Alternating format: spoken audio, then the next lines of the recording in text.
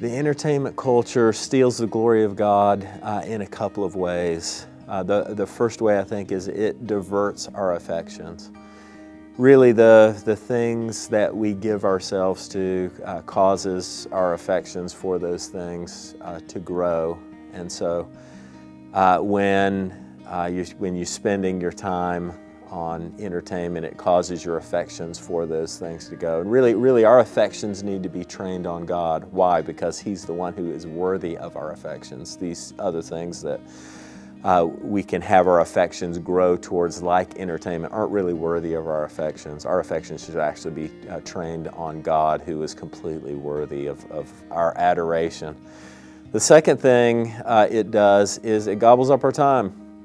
If you go to an Econ 101 class in, in college, meaning uh, basic economics, the first thing that they teach you is about opportunity costs. Opportunity cost simply means that you, when you have a dollar, you can only spend it on one, on one thing. Once you've spent it, you lost the opportunity to do anything else with that dollar because you don't have it anymore, you spent it. Same is true with time. Uh, the same is true with a minute, with an hour. Once you've spent it, it's gone forever. If you spend it on entertainment, there are so many other things that uh, you have lost the opportunity to spend it on. And so uh, while some of our lives is going to be spent on entertainment, most of our lives ought to be spent on things that are more profitable.